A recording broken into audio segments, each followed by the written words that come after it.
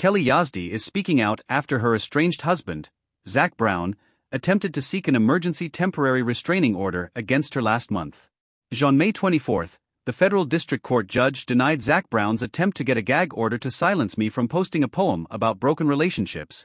Yazdi, 33, began in a lengthy statement via Instagram on Monday, June 3.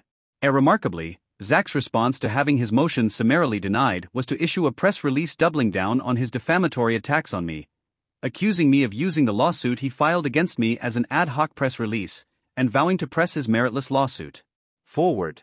Because it appears, for now, that Zac intends to do just that, it is important to know that I am not a willing participant in that agenda. Brown, 45, filed a lawsuit on May 17 against Yazdi, demanding she take down an Instagram post that allegedly tarnished his image. According to the Zac Brown band frontman, he claimed his estranged wife's post broke a confidentiality agreement that she signed during their relationship. The emergency order would force her to take down the post, per court documents obtained by NBC. While addressing the filing on Monday, Yazdi went on to say that she hasn't issued a press release e on the circumstances of our pending divorce. Only Zac has done so, adding that she hasn't used her a far more limited platform to defame or humiliate the musician.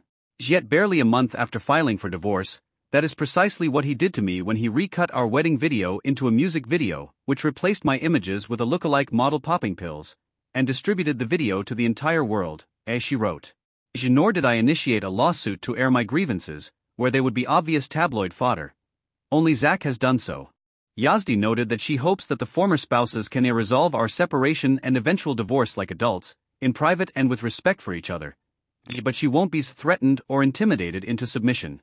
She added, If Zac continues to pursue his ill fated quest for a court injunction to silence me, or again publicly defames me or accuses me of dishonesty, I will meet him in court fully loaded with the truth about what has happened over the course of our relationship.